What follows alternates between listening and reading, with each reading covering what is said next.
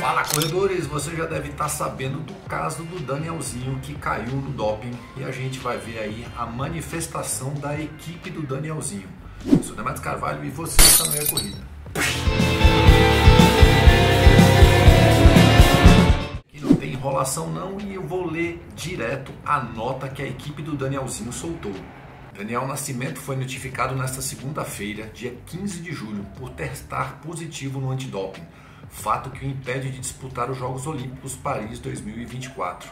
Nos últimos meses, ao longo da preparação visando a principal competição do calendário anual, o atleta foi submetido a uma série de exames, todos com resultados negativos até o último dia 4. Mesmo com tudo de grandioso que envolve a participação do corredor em mais uma Olimpíada, o fato se torna irrelevante frente ao maior obstáculo que ele já enfrentou na vida e carreira. A saúde mental é importante para qualquer profissional de qualquer área desempenhar. Daniel convive com traumas e problemas mentais que o levaram ao seu pior estágio nos últimos meses.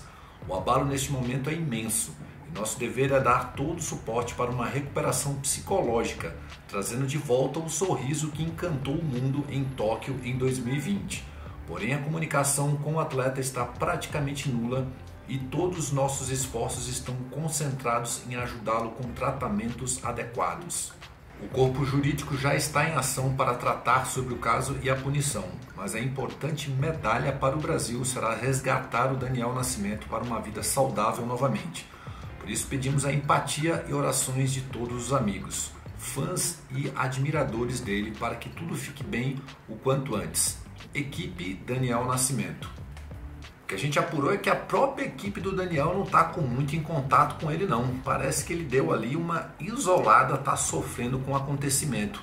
Mas pela nota também parece que talvez ele vá reconhecer que pisou na bola.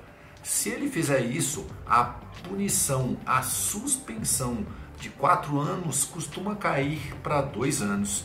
E aí a gente vai ver o que, que o Daniel vai fazer. Queria saber se você acha que ele dá a volta por cima.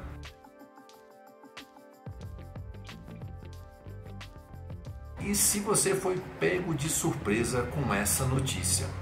Também vale se inscrever no canal e vir correr com a gente aí nesse final de semana. Hasta la vista, baby!